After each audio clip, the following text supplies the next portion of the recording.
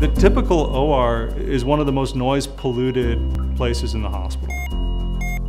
You've got clanging metal instruments and metal trays. You have people are masked. They have to speak up to be heard because you can't read lips.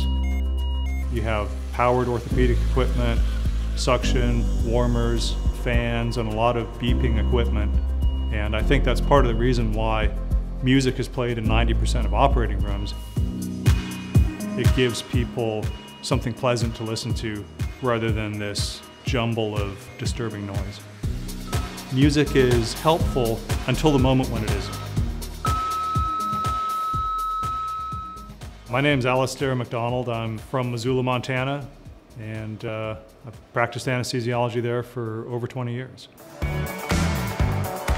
The year was 2015, and we had just finished a laparoscopic procedure.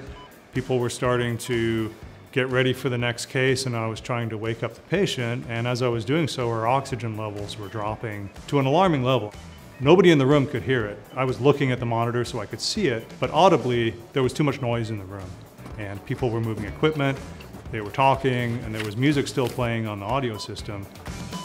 I hollered at people to be quiet and turn off the music.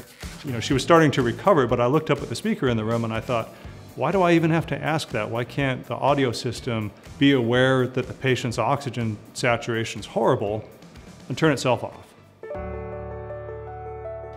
There's intelligence built into a $20,000 car today that's completely absent in a $2 million operating room.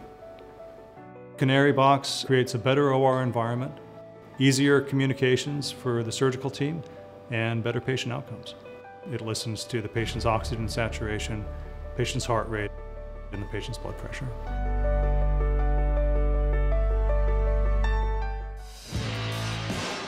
In any kind of critical event, emergency situation, you really want as little noise as possible.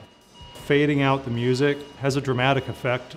It's much more so than adding a louder alarm or another alarm. When you turn off the music, the whole atmosphere in the room changes. People get the signal that things are serious now, we need to focus and make no extra noise. Having an extra piece of technology helping listen to the patient along with us and fade out the music in the room versus giving us an additional alarm that people are already so used to just ignoring. This wouldn't just be nice, this is necessary.